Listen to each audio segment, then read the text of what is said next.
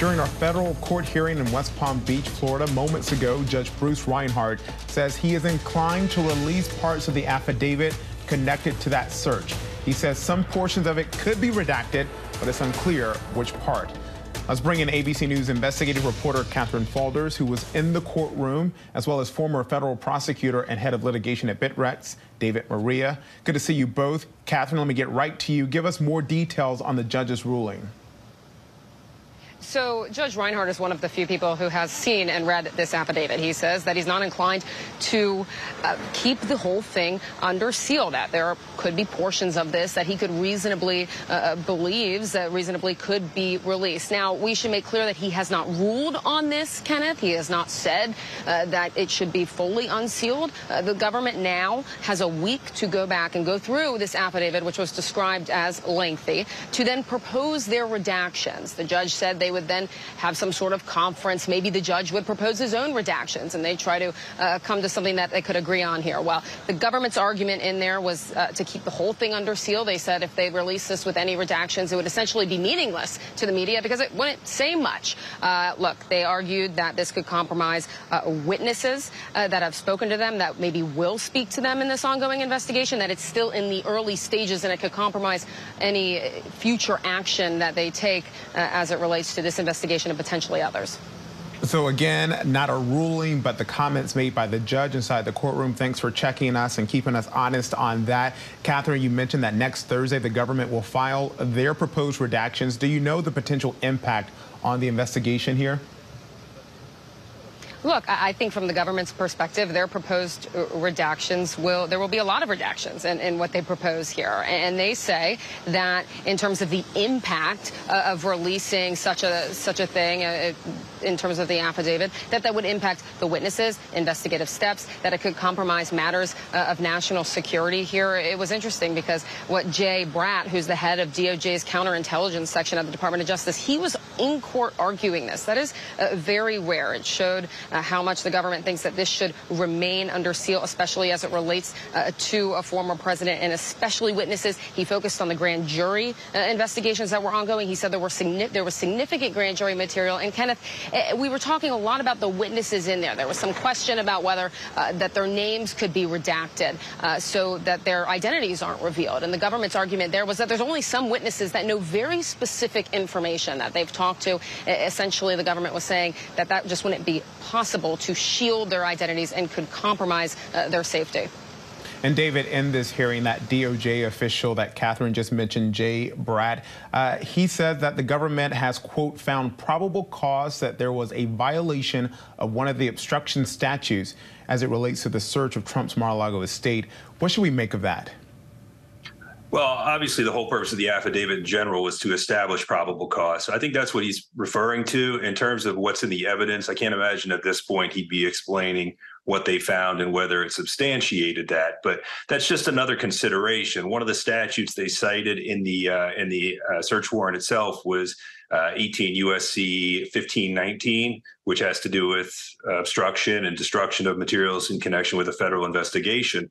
That for the government would be a reason why this stuff should remain sealed, because if they think there's a potential that obstruction and destruction has happened in the past, there, there, there could be an argument to be made that it could happen again.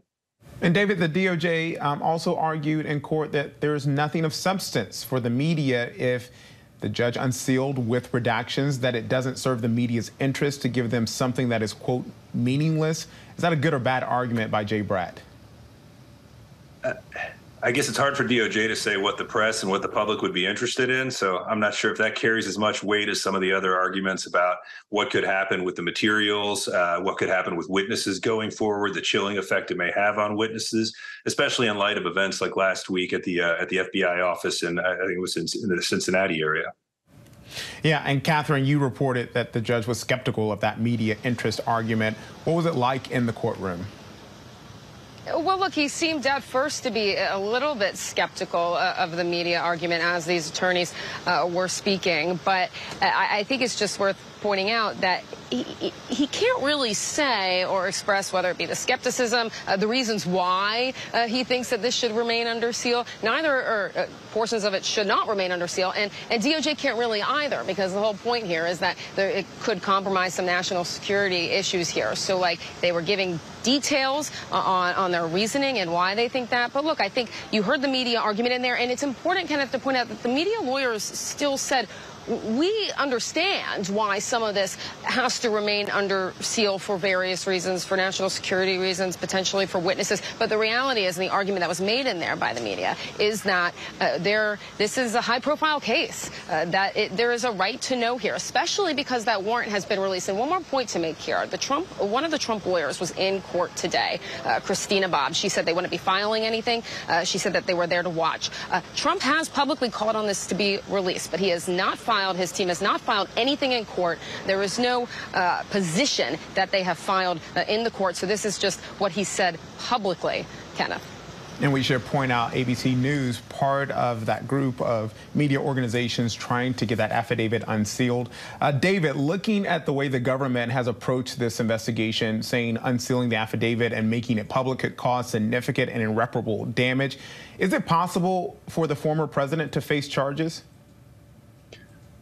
Again, uh, it's it's really early at this stage to to opine on that. The statutes that they cited in the in the not the affidavit, the warrant itself, um, you know, there there are elements in them that, if met, they wouldn't be hard to to bring a case and potentially prosecute it. They relate to uh, destruction or alteration in 1519. Uh, if they can show that that that you know, is something that wouldn't be hard to prove with the evidence they may have. Uh, the Espionage Act, the USC 7, uh, 18 USC 793, has very specific elements, including whether it, there was a request to return it to the appropriate officer if he had defense materials. If those things happened and and they can prove that, uh, they, they may have a, a, good case to bring, uh, whether it should be brought in some of the other circumstances, if he just failed to return presidential records, uh, if there was a miscommunication, uh, that may be a different story. All right. And just to put a button on this, Katherine, again, next week, at the end of next week, is when we should learn uh, what will, you know, more about this affidavit with redactions.